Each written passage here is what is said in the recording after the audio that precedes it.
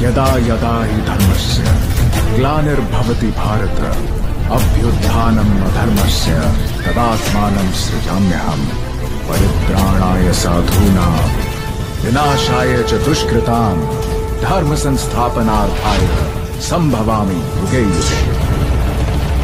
दोस्तों action superstar Sunny Deol अपने दमदार एक्शन के साथ साथ बेहतरीन डायलॉगबाजी की वजह से भी जाने जाते हैं। और शायद इसीलिए सनी देओल के फैंस उनकी आने वाली हर एक मूवी का बेसब्री से इंतज़ार करते हैं। और इसीलिए सनी देओल भी अपनी एक्टिंग के साथ साथ अपनी फ़िल्मों में वो हर एक चीज़ करते हैं जो वो कर सकते हैं। सनी देओल अपनी फ़िल्मों में एक्शन खुद ही करना पसंद करते हैं, बिना किसी डबल बॉडी की मदद के बिना ही सनी देओल अपनी मेहनत और अपने टैलेंट के दम पर अपनी हर एक मूवी में जान डाल देते हैं और वो फ़िल्म भी आगे चलकर एक सुपरहिट मूवी साबित होती है। और इसीलिए सनी देओल के लाखों करोड़ों फैंस उनकी आने वाली अपकमिंग फ़िल्म गदर टू का बेसब्री से इंतज़ार कर रहे हैं। वहीं आज के इस वीडियो में हम आपको बताने वाले हैं कि बॉलीवुड फ़िल्मों के मेकर्स जो इन दिनों 600 करोड़ के महाबजट पर बनने वाली फ़िल्म महाभारत पर काम कर रहे हैं, उसमें सनी देओल किस किरदार में नज़र आने वाले हैं?